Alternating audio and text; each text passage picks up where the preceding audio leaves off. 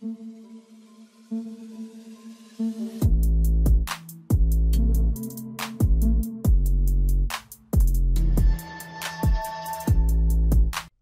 स्वागत है आपका आज की हमारी इस वीडियो में। आज की इस वीडियो में हम अनमैंड एलसीए तेजस कॉन्सेप्ट के बारे में बात करेंगे, जो कि एक AI based unmanned LCA Tejas fighter jet होने वाला है, जो कि हमारे एम फाइटर जेट के लिए एक अनमैंड विंगमैन के तौर पर भी एक्ट कर सकता है। दोस्तों, जैसा कि आप जानते हैं कि आज की एज में सबसे ज़्यादा बड़ी टेक्नोलॉजिकल एडवांसमेंट एआई के क्षेत्र में है, यानी कि आर्टिफिशियल इंटेलिजेंस के क्षेत्र में है। इसी टेक्नोलॉजी के इस्तेमाल से नए नए एडवांस ड्रोन्स डेवलप किए जा रहे हैं, जिसकी मदद से अभी ह्यूमन इन्वॉल्वमेंट को बहुत कम किया जा रहा है, जिससे फ्यूचर के वॉरफेयर में एक इंसान को जान नहीं गंवानी पड़ेगी, बल्कि उसकी जगह मशीनें युद्ध लड़ेंगी। इसी बात को लेकर हमारा देश भी एक नए प्रोजेक्ट के ऊपर काम कर रहा है। हमारा देश एक ऐसे अनमैंड वेरिएंट को बनाने वाला है, जिसमें ह्यूमन एलिमेंट को बिल्कुल ख़त्म कर दिया जाएगा और ये एक क्राफ्ट खुद एक हंटर किलर ड्रोन के तौर पर भी काम कर पाएगा और इसके साथ ही ये इन्फॉर्मेशन को भी कलेक्ट कर पाएगा, जैसे कि intelligence surveillance and reconnaissance mission कर पाएगा। अभी हमारा देश एक indigenous AI driven unmanned LC Tejas concept के ऊपर काम कर रहा है, जो कि हमारे नेक्स्ट जनरेशन फाइटर जेट्स को बनाने के लिए बहुत काम आएगा।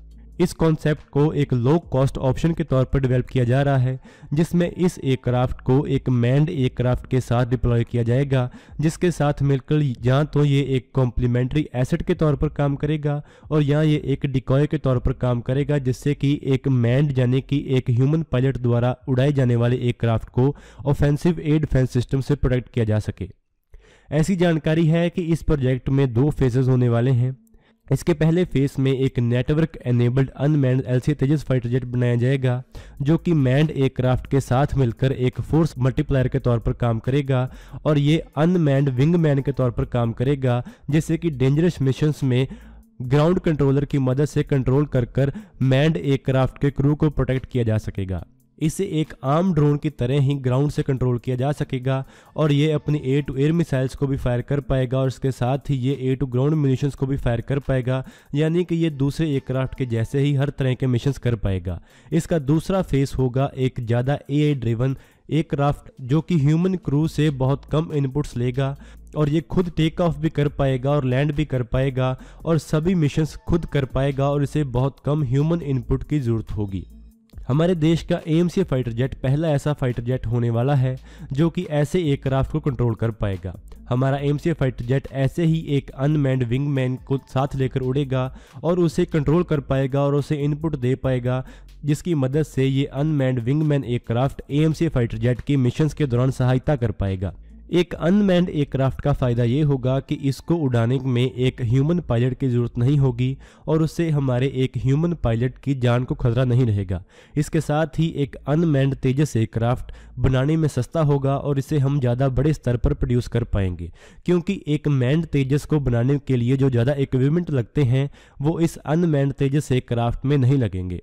एक अनमैन तेजस एयरक्राफ्ट में लाइफ सपोर्ट सिस्टम्स नहीं होंगे, एक इजेक्शन सीट नहीं होगी और इसके साथ ही दूसरे सिस्टम्स नहीं होंगे, जिसकी जगह पर एक बड़ा एंटीना लगा दिया जाएगा जो कि सैटेलाइट नेविगेशन बेस्ड कमांड्स को रिसीव करेगा। एक ऐसे एक क्राफ्ट को लाइन ऑफ़ साइट से बियॉन्ड ऑपरेट करने के लिए एक ग्राउंड बेस्ड एंटीना और एक रोबस्ट सैटेलाइट नेविगेशन सिस्टम चाहिए होगा। ऐसे सिस्टम्स को अमेरिका ने डेवलप किया है जिसकी मदद से वो अपने प्रेडेटर ड्रोन्स को ऑपरेट करते हैं। ऐसे ही सिस्टम को हमारे रुस्तम ड्रोन के लिए डेवलप किया जा रहा है, जो कि हमारे रुस्तम ड्रोन को 1000 किलोमीटर तक गाइड कर सकता है। ये पहली बार नहीं है कि किसी मैंड फाइटर एयरक्राफ्ट को एक अनमैंड ड्रोन में बदला जा रहा हो। इससे पहले अमेरिका की एयरफोर्स अपने फाइटर जेट्स को टारगेट ड्रोन्स में बदलती आई है। इससे पहले उन्होंने अपने स्टार फाइटर फाइटर जेट को ड्रोन्स में कन्वर्ट किया था और उसे टारगेट प्रैक्टिस के लिए इस्तेमाल किया था। इसके बाद उन्होंने अभी एफ़ सिक्सटीन एयरक्राफ्ट को टारगेट ड्रोन में कन्वर्ट किया है। इससे वो अपने एयर डिफेंस सिस्टम की एफिशिएंसी को टेस्ट करते हैं और उसके साथ ही अपने क्रू को और अपने पायलट्स को ट्रेन करते हैं। इसके साथ ही तेजस का एक अनमैंड वेरिएंट बनाने के लिए उसके फ़्लाइट कंट्रोल सिस्टम में बहुत बड़े बदलाव करने होंगे। क्योंकि ये एक क्राफ्ट एक फ्लाई बाय वायर सिस्टम का इस्तेमाल करता है तो इसको कन्वर्ट करने में ज़्यादा मुश्किल नहीं आएगी।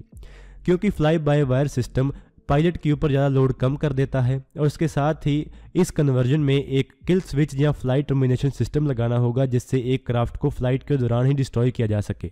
इसके साथ ही दूसरे टेलीमेट्री सेंसर्स और सिस्टम्स लगाने होंगे। अभी आपको बता दें कि जो पहले हमारे तेजस एयरक्राफ्ट में फ़्लाइट कंट्रोल सिस्टम लगाया गया है, वो एक पायलट की हेल्थ को ध्यान में रखकर बनाया गया है। और ये ह्यूमन एरर्स को फ़िल्टर आउट करने के लिए भी बनाया गया है, लेकिन जो अनमैंड तेजस होगा, उसके लिए एक फ़्लाइट कंट्रोल सिस्टम बिल्कुल नए तौर पर डेवलप करना होगा। इससे पहले चाइना की एयरफोर्स भी अपने जे सिक्स फाइटर एयरक्राफ्ट और जे सेवन फाइटर एयरक्राफ्ट को ड्रोन्स में कन्वर्ट करती आई है। और अमेरिकन एक्सपर्ट्स भी ऐसा मानते हैं कि शायद चाइना फ्यूचर वॉरफेयर में दूसरे देशों के एयर डिफेंस सिस्टम्स को ख़त्म करने के लिए इन्हीं अनमैंड फाइटर एयरक्राफ्ट का इस्तेमाल करे, जिससे उनके मैंड फाइटर एयरक्राफ्ट या ज़्यादा एडवांस्ड फाइटर एयरक्राफ्ट बच जाएँ और वो दुश्मन के एयर डिफेंस सिस्टम को डिस्ट्रॉय कर दें। यहाँ पर आपको बता दें कि जो ज़्यादा एडवांस्ड एयर डिफेंस सिस्टम होते हैं, जैसे कि S four hundred air defence system है, उनको ख़त्म करने की एक सबसे बढ़िया टेक्निक सुसाइड ड्रोन समझे जाते हैं।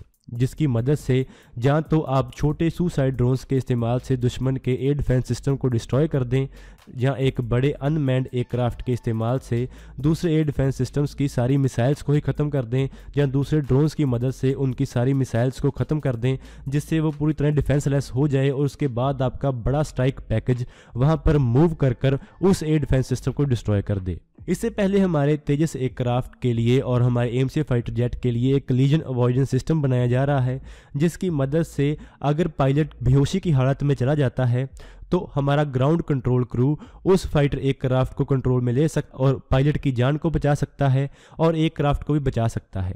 ऐसे सिस्टम की डेवलपमेंट हमारे अनमैन तेजस एयरक्राफ्ट में भी टेस्ट की जाएगी और इसके बाद ही ऐसे सिस्टम को हमारे नए एयरक्राफ्ट में मूव किया जाएगा। एक अनमैन तेजस एयरक्राफ्ट एक बहुत बढ़िया टेस्ट बेड हो सकता है, जिसके इस्तेमाल से हम नए एडवांस्ड एयरक्राफ्ट के लिए नई टेक्नोलॉजी को टेस्ट कर सकते हैं। जैसा कि आप जानते हैं कि हमारा M C M mark two aircraft unmanned और मैंड मोड दोनों में काम करने वाला है। M C M mark two aircraft को बिना पायलट के भी उड़ाया जा सकेगा और एक पायलट के साथ भी उड़ाया जा सकेगा। और ऐसे एयरक्राफ्ट को डिवेल्प करने के लिए जो टेक्नोलॉजी चाहिए होगी, वो एक अनमैंड तेजस एयरक्राफ्ट के इस्तेमाल से ही टेस्ट की जाएगी। यहाँ पर आपको बता दें कि अभी लगभग सभी देश ही ऐसे प्रोजेक्ट्स के ऊपर काम कर रहे हैं। हमारा जो घातक यू कैब प्रोजेक्ट है, वो भी एक अनमैंड विंगमैन के तौर पर ही काम करेगा और रशिया का अखौतनिक ड्रोन भी ऐसा ही एक प्रोजेक्ट है। अभी एच भी ऐसे ही अनमैंड विंगमैन ड्रोन्स के ऊपर काम कर रहा है, जो कि इससे एक अलग प्रोजेक्ट है। बोइंग ने भी अपना एक ऐसा ही प्रोजेक्ट शुरू किया है, जिसके हाल ही में टैक्सी ट्रायल्स भी हुए हैं, जो कि एक अनमैंड विंगमैन के तौर पर काम करेगा। इसके साथ ही इस प्रोजेक्ट से हमारे तेजस प्रोग्राम से हमारे देश को मिली एक बड़ी एडवांटेज का पता चलता है।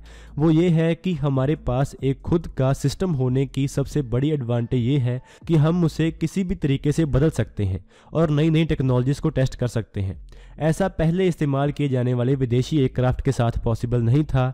यही कारण है कि हमारे तेजस एक क्राफ्ट का सक्सेसफुल होना हमारे देश में एक एक क्राफ्ट मैन्युफैक्चरिंग और डेवलपमेंट इकोसिस्टम बनाएगा। तो दोस्तों, आज की इस वीडियो में इतना ही। अगर आपको ये वीडियो अच्छी लगे तो आप इसको ज़रूर लाइक और शेयर करें। Thanks for watching this video जय हिंद, जय भारत।